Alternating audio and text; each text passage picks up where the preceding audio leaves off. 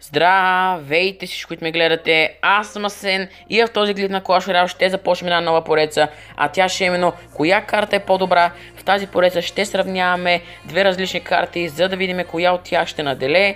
В този клип с помощта на Ферари ще сравняваме Електро Уизарда и нормалния Уизард. И да, ако искате да продължа тази пореца, просто дайте лайк и се абонирайте, ако сте нови за канала ми.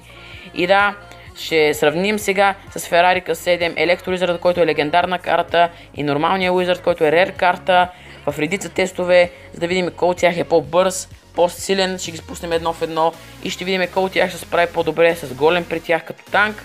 И да, вече ще се върна, когато вече сме в игра с Ферари, за да видим кой от тях е по-бърз. И да, вече сме в игра с Ферари и сега ще видим кой от двата Wizard е по-бърз и ще вземе първата точка в надпреварата. Пускаме ги точно по едно също време на 2 минути и половина. И да, за сега електролизърът има доста голям предина и мисля, че и той ще победи. Да, електролизърът е много по-бърз. И освен това забравих да ви кажа, че съм оставил линк към канала на Ферари в описанието, може да го посетите. И да, електролизърът стигна до кулата преди другия лузер да е стигнал моста, така че да, първата точка взима електролизърът, сега ще кой от тях е по-силен на едно в едно.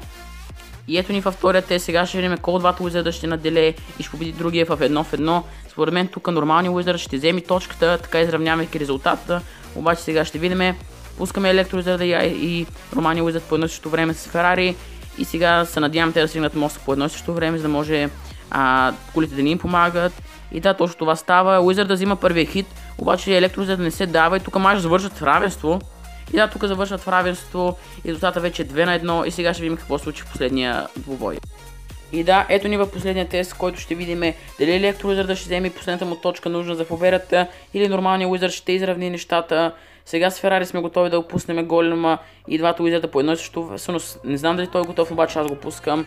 И явно него не му е стигнал еликсира, както и да е.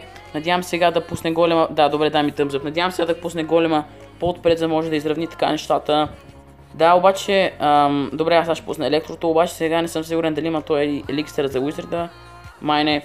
Еми така даваме 2-3 секундна предина а, за електровизърда. Така той сега дали ще пусне Wizard, да, ето пуска го. Обаче голема електровизърда вече са взели 500 демидж, това е предината им. Да видим дали електровизърда ще се възползва от нея и ще победи. Или Wizard ще обърне нещата. Гордо изглеждат равни, а електровизърда все пак има 2 секундна преднина. Но сега ще видим кой ще вземе последната кула, от това зависи всичко, който вземе последната главна кула, той печели.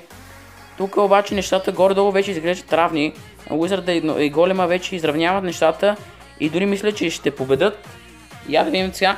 И да, по всичко изглежда, че Уизарда тук ще вземе точката и да, прави го. Уизарда тук взима точката, поставяйки крайния резултат 2 на 2.